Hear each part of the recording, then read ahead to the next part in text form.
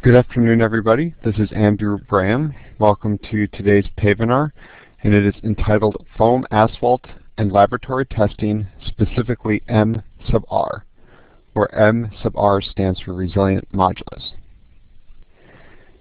If you can't hear me talking right now, please check your computer volume and or speakers. And if that's all fully functioning, I encourage you to go within the Elluminate software on the upper left corner of the program. You can go to Tools, Audio, Audio Setup Wizard, and then follow the instructions for help. During the presentation, if you have any questions, please feel free to raise your electronic hand if you look on the left side of the screen, just below the list of participants, there's a blue hand with a little green arrow. And if you click on that blue hand with the green arrow, um, it will raise your electronic hand. And then I'll know that you have a question. After that, you can simply type the question into the chat box. And the chat box is located beneath the um, list of participants in the electronic hand. You can type the question into the chat box, click send, and then everyone will be able to see uh, your question and I'll be able to either answer it immediately or pause at a convenient time and answer it then. After the presentation, professional development hours will be emailed to you. Uh, that will probably happen no later than this Thursday.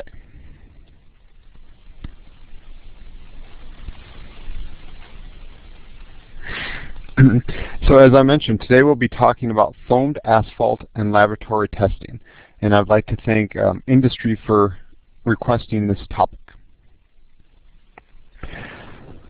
This is actually a very interesting presentation to put together because there's really two types of foamed asphalt in our industry. The first is used for warm mix asphalt, so we'll just briefly cover warm mix asphalt and foamed warm mix asphalt. And the second type is using foamed asphalt in either sub-base or base materials. And this is often called full depth reclamation, or FDR. So we'll talk a little bit about that as well. I'll give an introduction to the resilient modulus test, the M sub R test. We'll talk some about the equipment that's available to purchase that you can use in the lab to simulate foaming asphalt. And you can see there's three primary um, companies, the Wirtgen, PTI, and D&H equipment. We'll talk a little bit about foam testing in the lab from a warm mix asphalt uh, perspective and some other asphalt applications. And then finally we'll end up a little bit talking about some resilient modulus triaxial testing. And that was the main question that was asked is about some of the numbers that can be found in literature from the resilient modulus triaxial testing. So we'll finish up with that. And uh, there's two references that I used for that section. One was Kim Jenkins' PhD dissertation, which is back in 2000, and then also a, a Hales and Deneau from Transportation Research Board in 2009.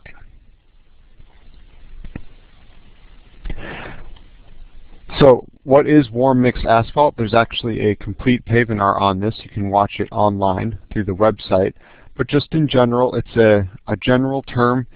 We use it when we're talking about construction or production temperatures that are approximately 30 to 50 degrees Celsius lower than traditional hot mix asphalt. And it's often called WMA, and that stands for warm mix asphalt. And there's uh, several different technologies that you can use. You can either use an additive, which includes a chemical or a wax, and um, uh, a chemical type additive is used for uh, one of the foaming processes, which we'll talk about in a couple slides.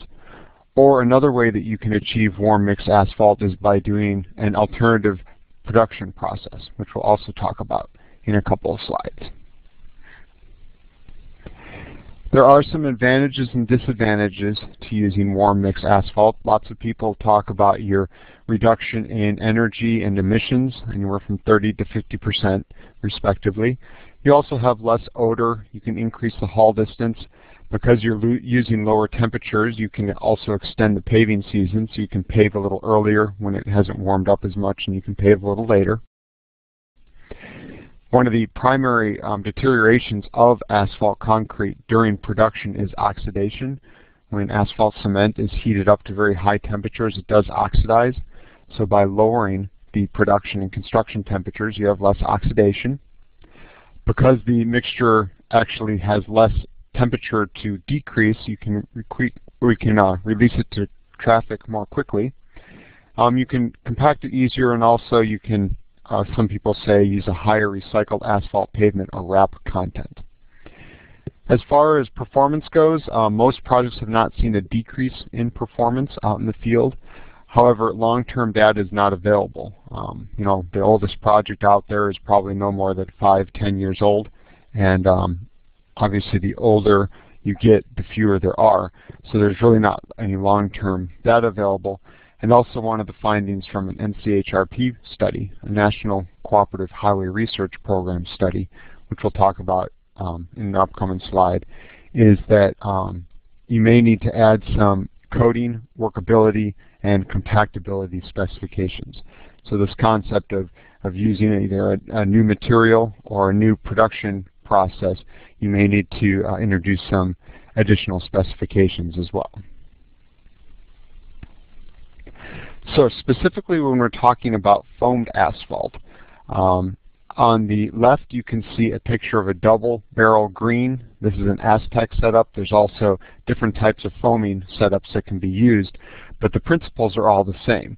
And what you do is you inject water and a little bit of air directly into the liquid asphalt cement. And what happens when that water and air hits the asphalt cement is you have a foaming process. The asphalt cement foams and it expands. One way to do this is by injecting water and air directly into the asphalt cement stream. Another way of doing this is to add what's called a synthetic zeolite.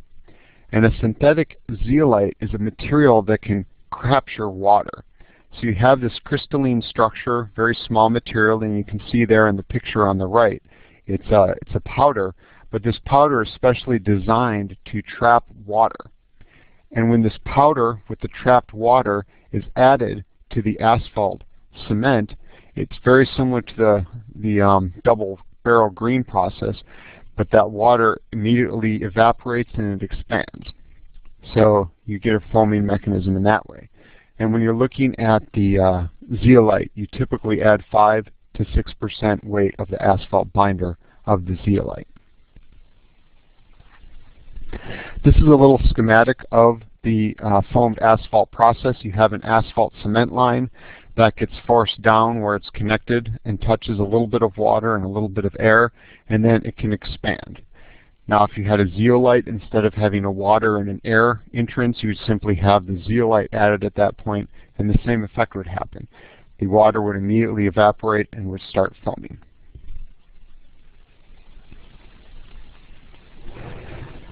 A little bit of theory behind the foaming process.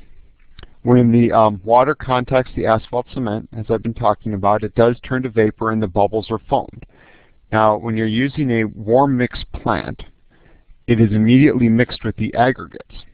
And if you have a greater amount of foaming, you're able to betterly distribute the asphalt.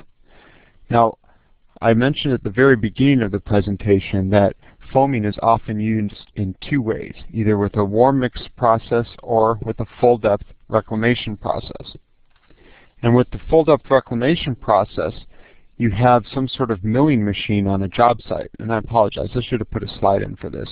But you have a milling machine on the job site that adds the foamed asphalt to the base and the sub-base material. So it's an on-site process and it usually uses base and sub-base material. So either with the warm mix asphalt in the plant or with the FDR uh, process in the field, Immediately after your asphalt cement foams, it's mixed with the aggregates. And during this mixing, all the uh, larger bubbles burst, and the small asphalt particles disperse through the aggregate, and they do this specifically by adhering to the finer particles. So when you're thinking about either a warm mix asphalt blend or a base stabilization, a base or a sub-base blend, you have a lot of small particles and these small asphalt droplets then adhere to the finer particles and they coat the larger aggregates. During the um, foaming process, you have a whole range of size of bubbles uh, anywhere from large to small, and it's very difficult to quantify the size of bubbles because it's a, a black liquid entrapping a clear gas. So it's it's not very intuitive. It's been difficult to capture the size distribution of them. Um, but the larger bubbles are the first ones to break down, and those smaller bubbles allow for a little extra lubrication, and you have the lower production and construction temperatures. So whether you're using a warm mix asphalt application, where the asphalt cement is foamed at the plant and mixed with the aggregate in the drum, or if you're on a job site and you have some sort of reclaiming machine, and that reclaiming machine has an asphalt cement nozzle going in with water and air, and that foams and immediately mixes with the base and the subbase material. Uh, both of those use um, the same principles, just at different points of the production and construction process.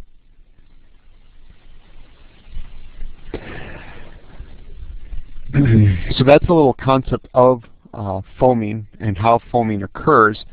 Now one of the performance tests that was of particular interest was the resilient modulus. And going along with the, um, the concept of having the warm mix asphalt and this the base stabilization, the full depth reclamation, those two areas, well you can um, test the resilient modulus in two ways. You can test it in an indirect tension setup that's often used for warm mix, and then as pictured here on the right, you can also test it in a triaxial test for bases and subbases. So for warm mix asphalt, you have an indirect tension setup, so it's a, a circular sample, and you push down on the top and the bottom of that circular sample in an indirect, so you have tension in the middle, compression on the top and the bottom, and that pushes that center out, so you have tension in the middle. Um, for the warm mix asphalt, you can follow ASTM D4123, and you can get a measure of the stiffness of the material.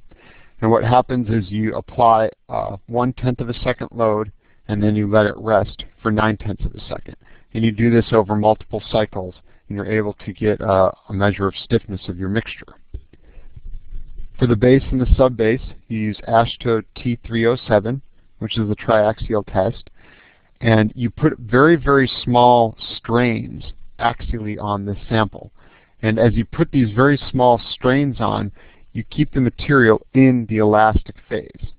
So if you recall, an elastic phase is where if you put a stress on a material, you have a constant strain. So if you put a stress on a material, if you put a load on a material, it's constantly deforming at the same rate, and that makes it elastic material. And if you're talking about subbase and base material, if you want to keep it in that elastic material, elastic range, you have to keep the strains or the deflections very, very small. Similar to um, the uh, warm mix asphalt measurement, you are measuring a stiffness uh, for the base and the subbase material, and it, you can estimate the modulus of elasticity of your base or subbase material by using this triaxial test. So that's just a really brief background of um, foamed asphalt in the laboratory, a little bit behind the mechanisms and a little bit then about the testing. If you have any questions, uh, please raise your electronic hand and I'll wait for you to type the question into the chat box.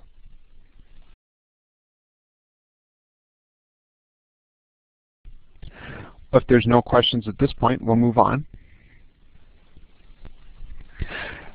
So the some of the technologies I was talking about, the um, Aquafoam or the um, the uh, double barrel Astec foamer, those are both foaming uh, machines in the field. Now we're looking at lab testing, it's very convenient to have a lab testing setup. And there's actually three different primary manufacturers of foaming machines in the lab. Now the links on the screen do not work, so I'm going to put each of these links into the chat box, and you can look at them from the chat box. The first process is the Wirtgen foamer, and this was designed for full depth reclamation, or the FDR, using the base and the sub-base layers.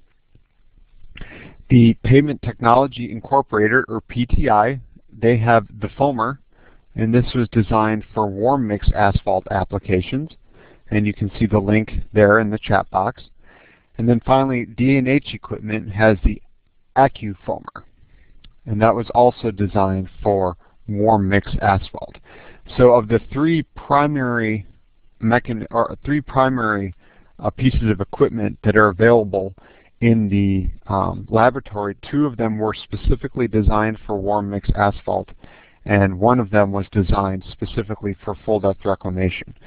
We were actually able to purchase both the Wirtgen foamer and the PTI foamer here at the University of Arkansas. And I was very impressed with Wirtgen. They were uh, upfront saying that this is not designed to be used with warm mix uh, asphalt applications. Um, it's designed to be used with FDR or full depth reclamation applications. So you have the links there in the chat box and what I'll do is I will um, go through each of these in a little more detail. And actually I noticed it looks like the Wirtgen link didn't quite work. Oh, let's try that again. Well, um, it's not showing up as blue. I apologize if you're not able to click on it and get to the website. It didn't work the first, second, or third time. but um, if, if uh, you do want to get the link, you can either email me or I will be uploading the PDF onto the website and you'll be able to get that uh, when you get your professional development hour certificate. So for the Wirtgen WLB10S, um, your asphalt cement temperature can be anywhere from 140 to 200 degrees Celsius. You can add anywhere from 0 to 5% water by volume of the asphalt cement, and the air pressure can be between 0 and 1,000 kilopascals. So those are just kind of some broad specifications. It was a little interesting comparing the three different pieces of equipment. All their specifications are written a little differently.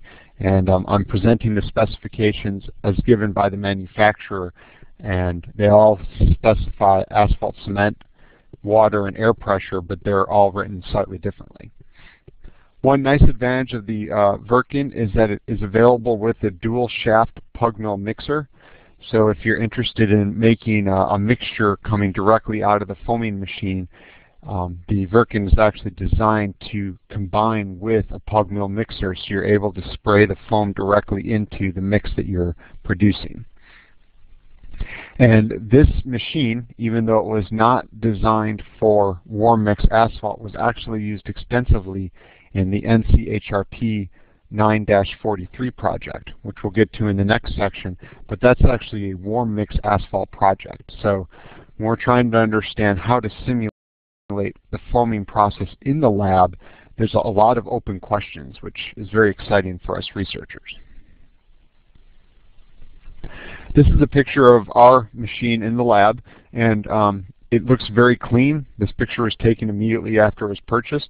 If you guys are ever in northwest Arkansas, I invite you to come and tour our lab and it is no longer this clean. It is covered with asphalt in many places, but I think that's good. It shows that it's being used.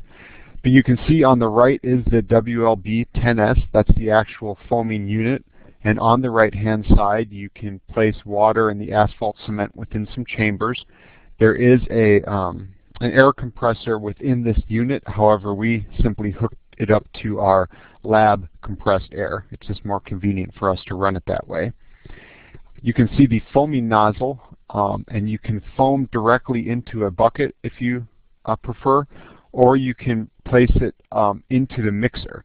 And that's an exterior view of the pug mill mixer, and that allows you to have mix inside the mixer, uh, tossing and turning, and directly spray the foamed asphalt into there.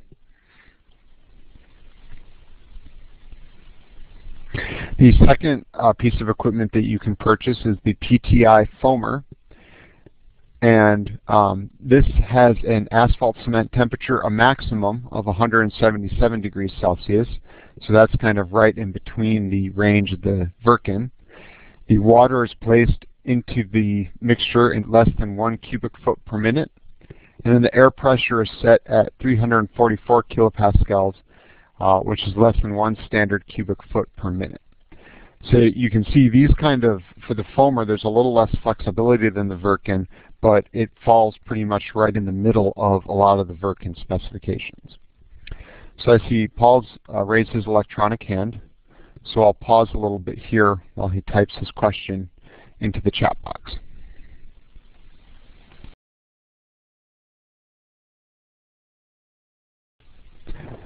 Um, Paul, if you're still typing, could you please raise your hand again, and if not, we'll continue on. Okay, sorry, I apologize. I know it's not the most convenient setup to have the um, the type in the chat box, but I learned very quickly that turning on 54 uh, microphones at the same time, you can get all sorts of interesting background noise. So to, to mitigate that, I just uh, turn everyone's microphone off. So the question is, how does air get into the WLB 10S equipment? Um, well, as I mentioned, on the right-hand side, I'm going to try and get uh, creative here. On the right-hand side, in this part of the chamber here, there is an actual air compressor in that chamber.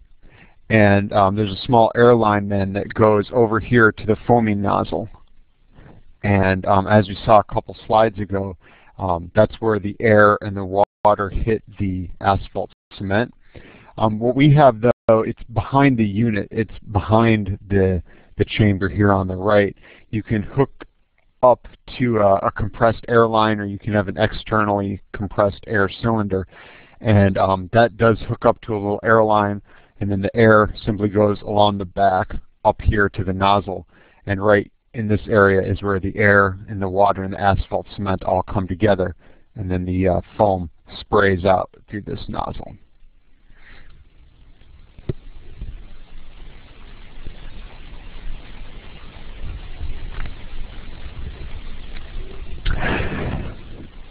Um, so if there's any other questions, please do feel free to raise your hand and I'll uh, continue on with the PTI foamer.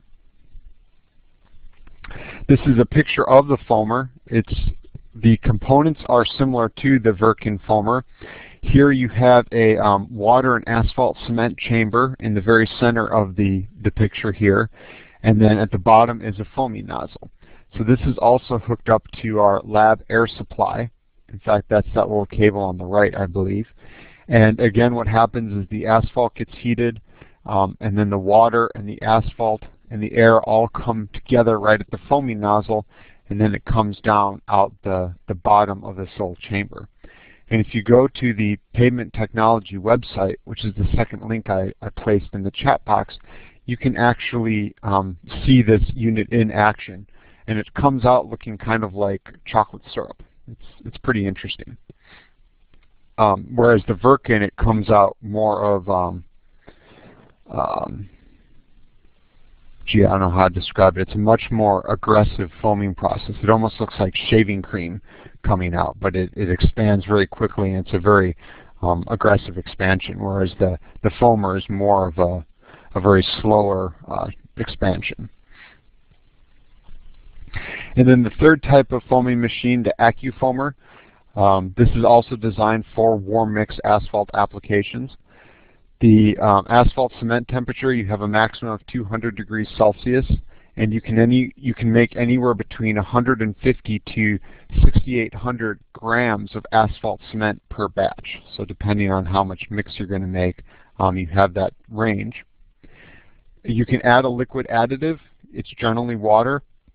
The nice thing about the AccuFoamer though is you can also add some sort of chemical if you would like to help with the foaming process. Um, the maximum temperature of these additives is 82 degrees Celsius, and you can add anywhere between 0 to 9%. And then finally, the air pressure is placed at 517 kilopascals. So Jeff had a question, and um, Jeff's question was, with regards to the foamed FDR, what kind of ITS numbers, and ITS is indirect tensile strength numbers, are you getting, conditioned and non-conditioned? And then how about short-term strengths? Jeff, that's an excellent question. So Jeff is asking about some foamed FDR mixtures, indirect tensile strength numbers. Um, and we are actually going to get to some IDT tests, I believe. Let's see, we got resilient modulus. Um, some of the reports that we're going to look at in the next sections uh, do talk about indirect tensile strength and I will get to the um, ITS numbers at that point. Now, uh, I ask you, Jeff, if I forget because it's not in my slides, but if I do forget, um, you can feel free to holler at me electronically and, and remind me. Uh, Janeth has a question as well. Janeth's question is, what is your opinion about foamed asphalt mixtures used in base and sub-base layers being classified as bound or unbound or weakly bound material?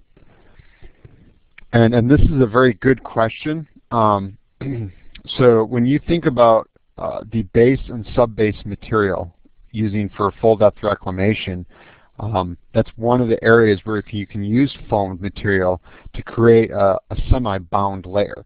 Now obviously if you have a plain base and sub-base material that's unbound, it's just aggregate or um, soils that's completely unbound. Now when you have a foaming uh, mechanism put in there, you are introducing some asphalt cement to the process and it does become in a, in a way a bound material. Um, now there are some people who believe that you're not actually binding the base and sub-base material. They describe it more as a tack welding. So it's more like you're just gluing them together with little uh, dollops of asphalt. So when you think about foamed mixtures, you generally don't have a very um, pretty coated aggregate. It's more um, like pepper colored with these little spots of asphalt cement that kind of hold them together. So when you're talking about um, either being bound or unbound, I would say it's somewhere in between. It's not completely bound and it's not completely unbound either. So uh, thank you all for those questions. Are there any other questions at this point?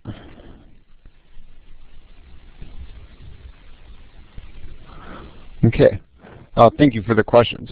Now here's just a picture of the AccuFoamer. Now I have never personally used one of the AccuFoamers, um, but it, it's a, bench, a desk a bench top unit, so it's much smaller than the Wirtgen or the PTI. It's made to sit on top of a lab bench.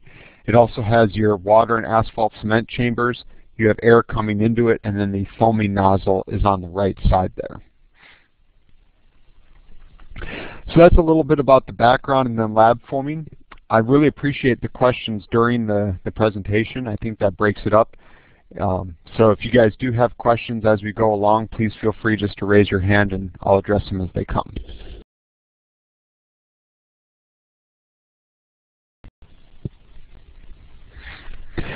So segueing way now from uh, making foamed asphalt in the lab and going into foam testing in the laboratory.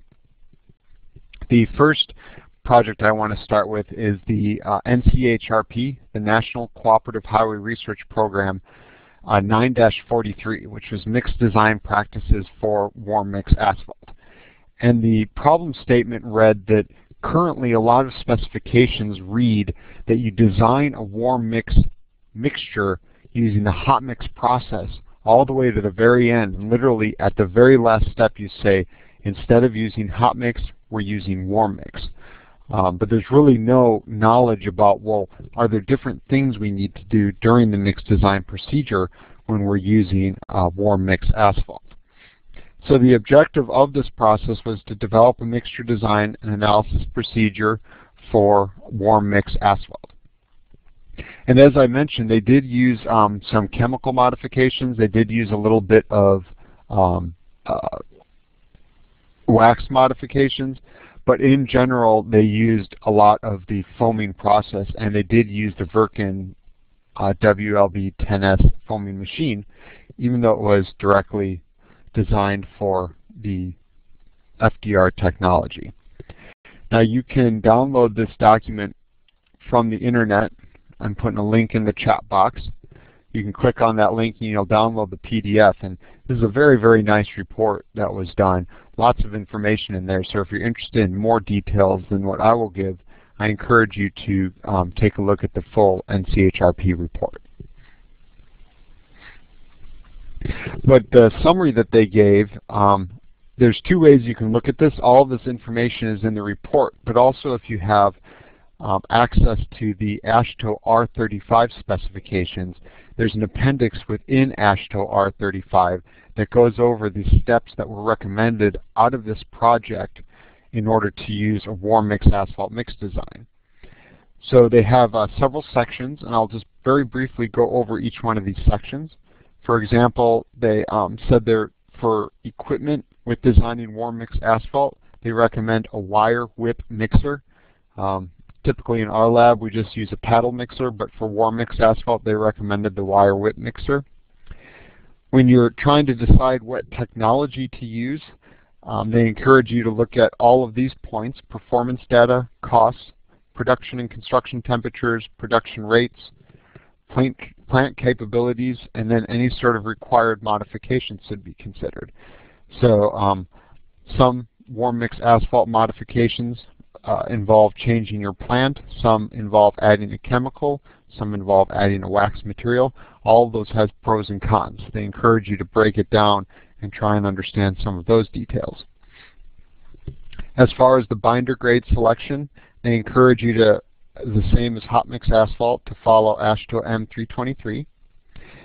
When you're thinking about putting RAP into warm mix asphalt, um, they recommend that the field compaction temperature should be higher than the high temperature grade of the RAP binder. So sometimes using these warm mix technologies, you're actually decreasing the compaction temperatures to the point where they might actually fall beneath the high temperature grade of the RAP binder. And if you start getting into that area, they recommend that you bump the temperature up a little bit so your field compaction temperatures do not go below the high temperature grade. And the reasoning behind that is that if your temperature does go below the high temperature grade, you may not get um, comprehensive blending of the materials of the uh, RAP asphalt cement. They have um, some notes on technology-specific fabrication processes, including batching, heating, any sort of additives and moisture and mixtures that you need to, to consider.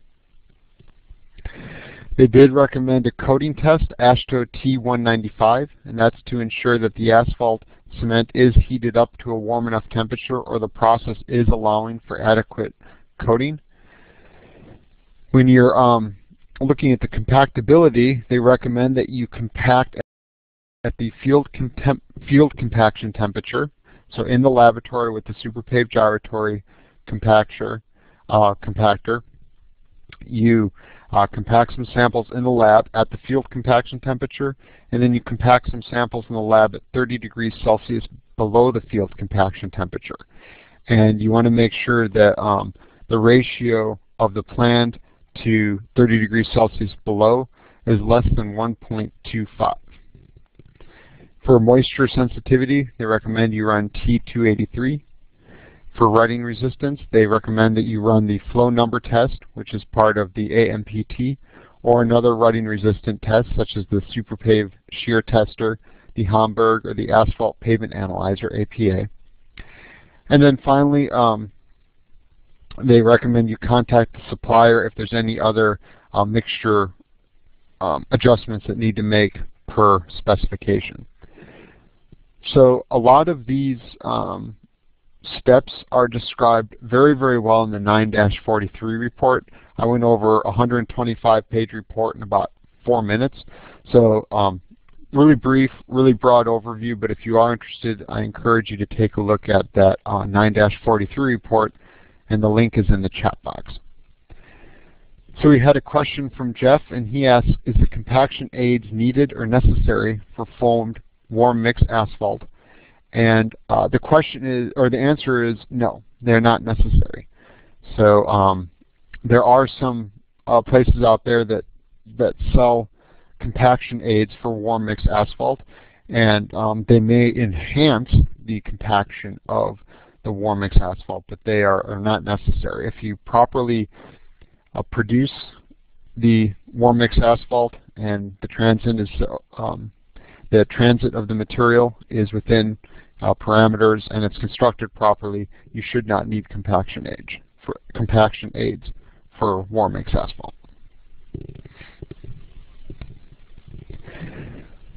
So along with the um, NCHRP 9-43 report, I also took a quick look at the um,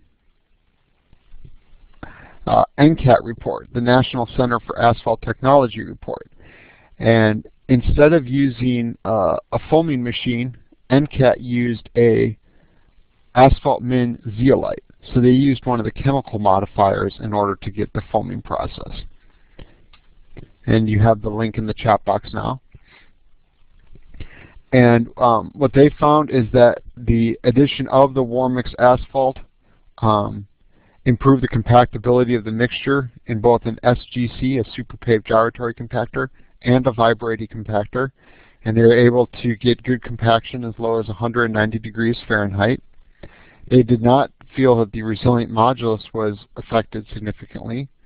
Uh, they did not see an increase in the rutting potential, and there was no evidence of differing strength gain with time. So Jeff had asked a question a little earlier um, about ITS numbers.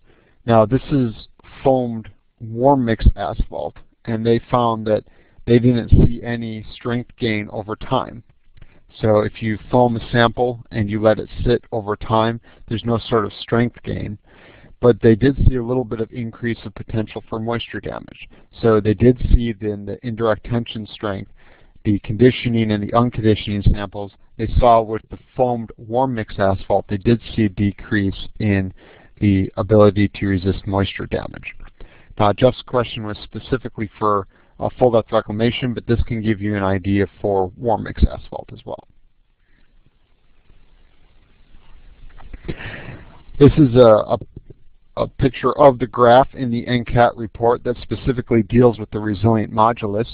And this is done uh, through ASTM D4123, so the indirect tension mode. And you can see they used a couple different types of aggregates. They used a granite and a limestone. And then they used uh, two different types of binders, a PG6422 and a PG58-28. And you can see um, from their trends that um, using the uh, foamed process, they didn't feel really affect the uh, resilient modulus of the mixtures.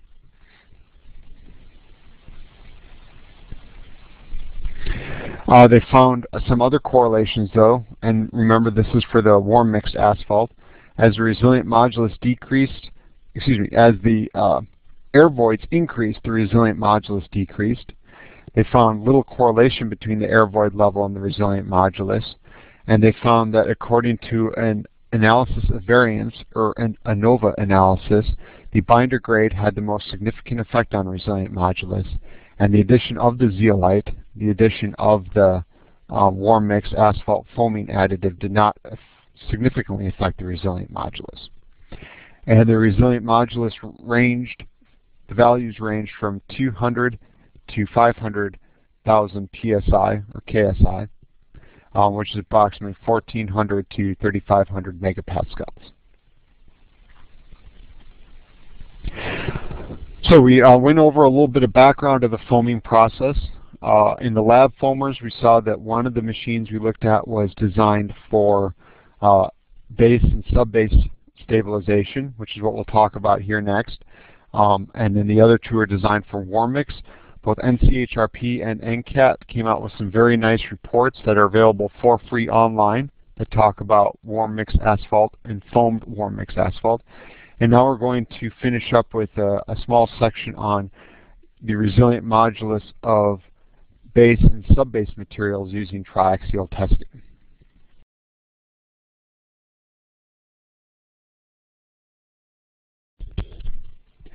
So the two papers that I found, or the two documents that I found that talked about resilient modulus, um, uh, looked at both the mixed design considerations, and then the effect of Miller, uh, mineral fillers or active fillers. So trying to add another material in order to either enhance or change the ability of the foaming process. And these are both for uh, base and sub-base materials. So the first document that I referenced was Kim Jenkins' dissertation. Um, it's from the University of Stellenbosch down in South Africa. And then the second one was a transportation research record uh, paper that was put out in 2009. So thinking about what the resilient modulus is and how it works, you can see here um, the rectangle in the middle is a schematic of a resilient modulus test specimen and there's various forces or loads or stresses that are being applied on the uh, material. You have principal stresses, cyclic axial stresses, static axial stresses, uh, dead weight stresses, all of those type of stresses, and those are in the axial direction, so they're pushing down on the sample. And then you also have a minor principal stress, or a confining stress, which pushes on the sides of the sample. Once you get, when you apply these stresses, you do get a little bit of deformation, and that's the axial strain. Now, if you recall at the very beginning of the presentation, I talked a little bit about the resilient modulus and the triaxial test setup. And you want to make sure you apply a low enough stress where you have low enough strains where you're within the elastic range.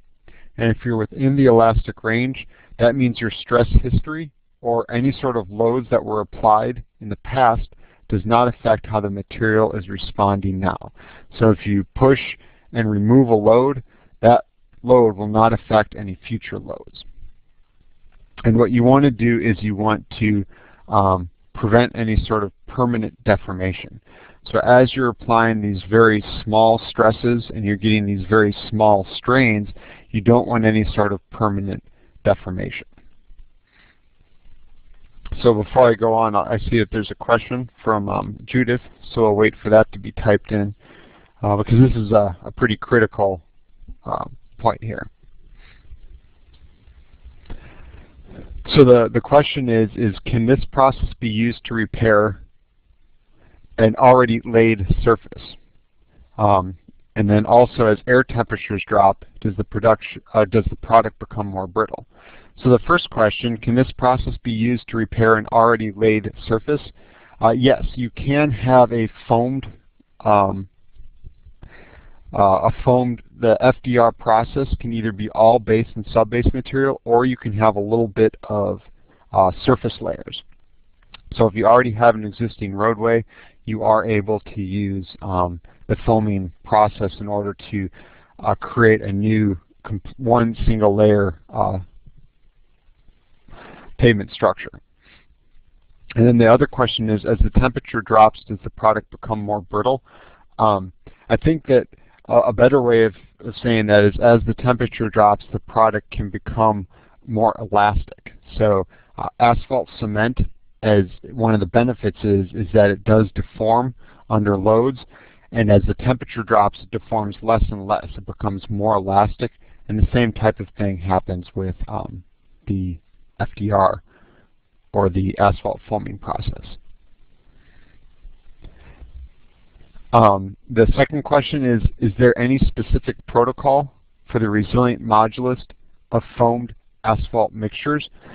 Well, the um, unfortunately, the only AS, the only standard out there is ASTM. Excuse me, I'm going back in my my paper slides here. I know I had it somewhere. Um, there is a a standard that is out there.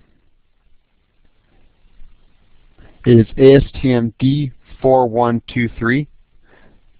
So ASTM D4123. Um, that is the specific protocol for resilient modulus of foam asphalt mixtures. However, that has been withdrawn. It was withdrawn in 2003, and as far as I know, there is no current um, specification that's used. However, this one is still being used in industry to capture resilient modulus. So now we have a little bit of setup of the resilient modulus in the triaxial test setup. So um, Kim Jenkins, he uh, tested a couple different materials. They're called G1 GAU and G1 EER2C. These are just two different types of granular materials. And he had different confining pressures. So sigma 3, if you recall, that's the pressure that comes in on the sides of the triaxial test. So as that side pressure increases, the resilient modulus also increases. Also, as the uh, principal stresses, and those are the stresses coming down on top of the sample, as those stresses increase, the resilient modulus also increases. In this graph on the right, you can see on the top of the top graph is 0% binder, so there's no sort of binding agent in there. It's just the, um, uh, the granular material. And then on the bottom is a 2% foamed binder. So they added 2% foamed asphalt into the mix. And you can see as you add the asphalt, the um, slopes of the lines change. So if you have the same um, confining stress, but you increase the, ax or the uh, axial stress, you have a higher rate of increase of resilient modulus, and also overall the values are um, a little higher as well. This is the resilient modulus with and without the binder. The top is with no binder, the bottom is with 2% foam binder. And this is the resilient modulus with and without cement. The top graph is 2% foam binder, so this is the same as the previous slide's bottom graph. But then if you add cement, you can see that the values of resilient modulus increase a little bit. Uh, in general, the values of resilient modulus are generally between 150 to 400 megapascals in this study, and that has the three different confining pressures and then um, a very large range of principal stresses as well both with foam, without foam, and also with cement and without cement. So before we get on to the next paper, we had a question from Janeth asking, can we not use AASHTO T307 for the resilient modulus of foamed asphalt mixtures? And that's not, uh, well you can use that test method. So let me see here. Um, we have ASTM D4123, which I typed into the chat box. That was designed for asphalt mixtures. And then AASHTO T307, that was designed for um, base and subbase material. And in theory, you can use AASHTO T307. However, you would probably need to have higher um, confining stresses, higher principal stresses, and I actually don't have the, the specification on hand. I don't know if they have limits within those specifications, but because you're using a bound material, you'd actually have to have a much higher um, uh, capabilities of both axial and um, confining pressure in order to use AASHTO T307. And a lot of these uh, base materials and sub-base materials are run using uh, plastic uh, sleeves. But I think if you tried to use that with uh, warm mix asphalt, which is slightly higher uh, binding and higher strength, you'd probably need to actually get a metal triaxial cell. All the triaxial testing I've seen with asphalt materials is in metal cell. So I think in theory you could use AASHTO T307, but you may need to make some modifications on it in order to successfully run um, foamed warm mix asphalt.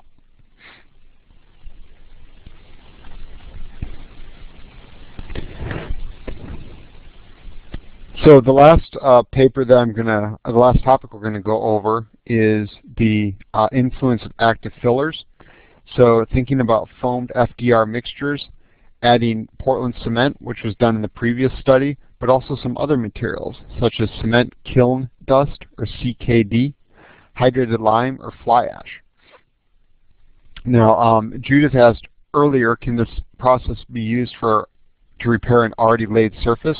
This is a good example of a study that used material that was 75% deteriorated asphalt concrete and 25% reclaimed granular base.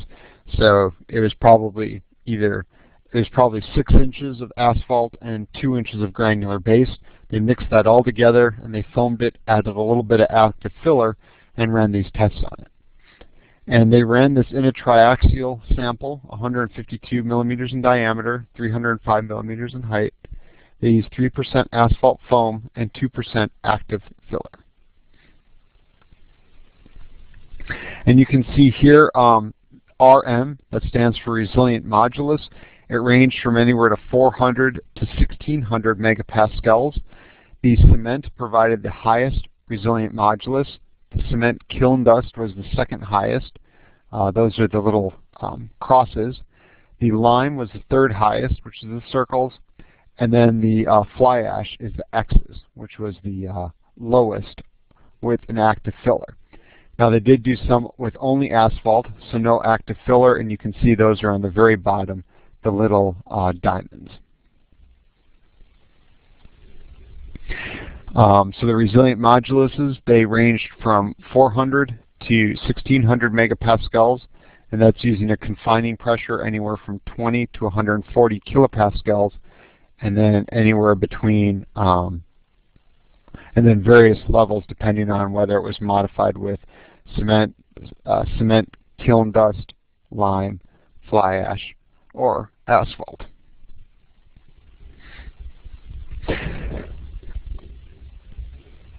And then um, just as a, a, brief summary, the influence of the active fillers on resilient modulus. Um, the Portland cement filler can provide almost double the stiffness versus fly ash. And then the active filler increases the stiffness anywhere from 10 to 100% depending on the type. Also, um, after moisture conditioning the samples, so this is where they use the T T283 procedure, uh, they didn't run the indirect tensile, they did not run the indirect tensile strength, but they ran the conditioning procedure on the triaxial samples, about 60 to 80% of the stiffness was lost. So uh, a question from Camila is, does the foamed mixture used as a base material work similarly to a cold recycled mixture using asphalt emulsion? Well, and this is uh, quite the debate. Um, so thinking about asphalt emulsion stabilized mixtures versus foamed stabilized mixtures, in principle they're both doing the same thing. They're applying or they're allowing for a little bit of um, uh, binding of particles, but the process, the way they go about it is very different. Asphalt emulsion coats the entire particle, whereas asphalt foam kind of provides that tack uh, welding. So it's just these little dots of asphalt that holds it together. Now when you're thinking about, in theory, these base layers should be fully confined on both sides and on the top and the bottom, so the ability for it to self uh, be self-cohesive may not be quite as important as the surface layer. Um, yes, to answer your question, the short answer is yes, both foamed asphalt and asphalt emulsion can be used um, for cold recycling mixtures. So in summary, we're getting um, pretty close to 1 o'clock. So um, the professional development hours will be emailed to you after the presentation, and they should be emailed to you no later than Thursday, May 9th. It takes a little time for me to get the session back and make sure I have everyone's name and contact information. If you're interested, at that time, when I send out your professional development hours, you'll be able to rewatch the Pavinar through this website. Also, I highly encourage you, if you have any topics, please submit them via the website. The next Pavinar will be Tuesday, September 5th, and the topics will be posted by August 2013, and an email will be sent out to announce the fall series. And just a heads up, I'm a little nervous, but we may be using a new software next fall. Evidently, the software that we're currently using is no longer supported uh, by the university, which means that if it falls apart, I'm not going to get any backup help.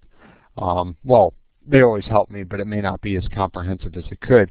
So we may have a new software, so I encourage you to go through the tutorial before trying to log on because a couple things might be a little different. Uh, there are two topics that have been uh, suggested for next fall. One is the use of recycled asphalt shingles from processing through plant production. That's been requested by industry. Nevada DOT has requested information on stress-absorbing membrane interfaces, or SAMIs.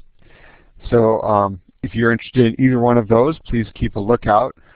Some other possible topics, these are the ones that I thought of, are the development of stresses and strains in pavements, new development in airfield pavements, and then high RAP and asphalt concrete. But if you guys have topics that are interesting, please submit topics that interest you, and I'll make sure they get on the agenda. So I've got a couple of uh, questions already lined up, um, but using foamed asphalt in the laboratory testing, you got a little bit of the background, some lab foaming devices, a little bit about warm mix, and then a little bit about base and sub-base stabilization using uh, re resilient modulus. So if uh, you need to get going, I understand. Please have a great summer. And if not, I'll stick around till all the questions are gone. So the first question is from uh, Sue. Her question is, I am not sure if filler fully characterizes the effect of cement in the mix, since it has mineral and chemical reaction in the mix. And that's a very good point. So uh, during that last paper, we looked at four different types of uh, fillers, Portland cement, cement kiln dust, hydrated lime, and the fly ash class C. And they actually did term it as active fillers. And I believe when they were talking about active fillers, that meant um, the active portion is the uh, chemical reaction, and then the filler portion is the mineral uh, portion. So you have both the active, chemical, filler, physical. So both of those are kind of acting at the same point. But that's a very good point, and I, uh, you can't emphasize that enough. Uh, the next question is, do you know of any FDR projects, full depth reclamation project, that use RAP and sand? And that's a, a very uh, open question. I do know of FDR projects that have used existing uh, asphalt materials, which after it's milled up is essentially RAP. And a lot of those did have base and sub-base materials which may have had sand in them. One of the difficult things about full depth reclamation projects is as you're moving down a road, if you're uh, reclaiming to about 8 inches deep, your pavement structure can be anywhere between 1 to 6 inches deep. I've been on roads where it's been that big of a variation. And then your base courses can also have variation, so you may actually be hitting some uh, sub-base material which could have sand. So I think that, um, yes, there, there have been FDR projects that have RAP and then also have sand. So the next question is, during the FDR foaming process, what about the safety aspect of using hot AC binder in the field? And this is a very good point. Um, so if you are using a, a, foaming process in the field, that means that you will have a tanker of asphalt cement, and that asphalt cement will be at um, you know 300 degrees Fahrenheit because it has to be fully liquid. There's a hose going from that tanker to the reclaiming machine, and that reclaiming machine then combines the asphalt cement with the water and the air and the foaming occurs.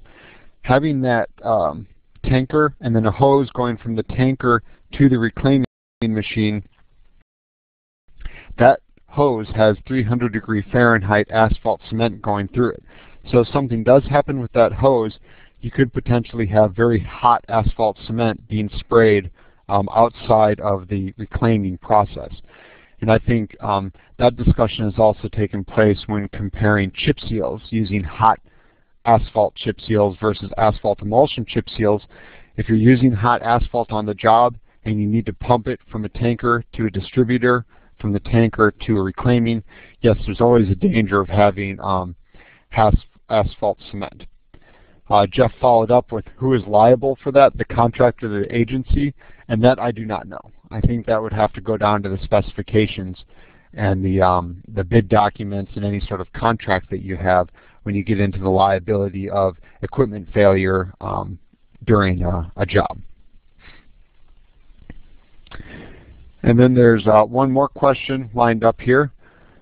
Uh, the literature of a foamed asphalt mixture shows a range from um, a few hundred megapascals to 15,000 megapascal, megapascals. And I did look for those numbers. I was not able to find any um, I was not able to find any literature that used foamed asphalt mixtures and had modulus of a, or, um, resilient modulus of 15,000 megapascals. The literature that I found pretty much made the entire range which went up to about 1500 megapascals. So um, the question is, is the, this uh, person has seen literature that goes up to 15,000 megapascals. I have personally never seen that.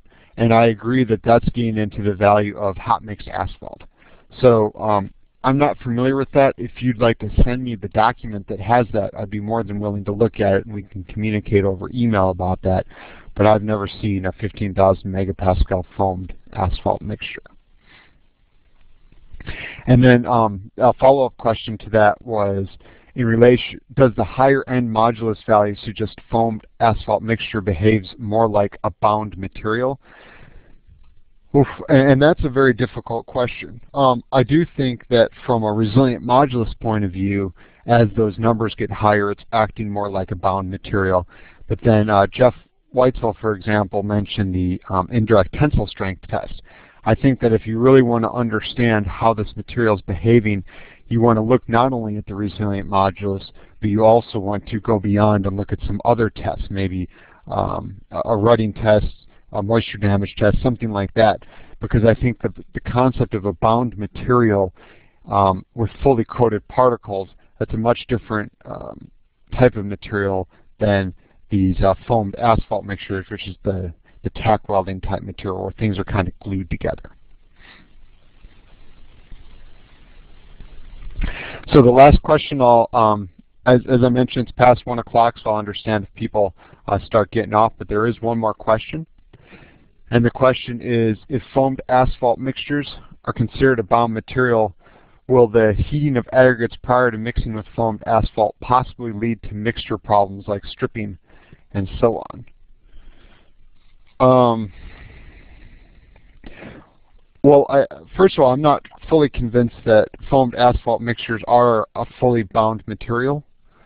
I don't think that's a, a completely answered question, and I'm I'm kind of using the uh, the excuse that more research could be needed to understand how that um, fully um, occurs. But now we're talking about foamed asphalt, when uh, your aggregate comes in to a uh, warm mix asphalt plant, and if you have water in your binder, could that possibly lead to stripping problems? I think that is a concern. However, I don't think it's been noticed enough to make it a, um, a large-scale concern. I think that I am sure that there are foamed asphalt projects out there that have had stripping problems, but I don't think it's been significant enough to um, raise any permanent red flags.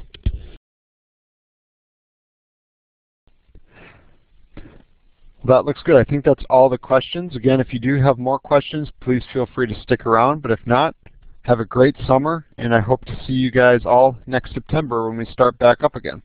Thanks a lot, and take care.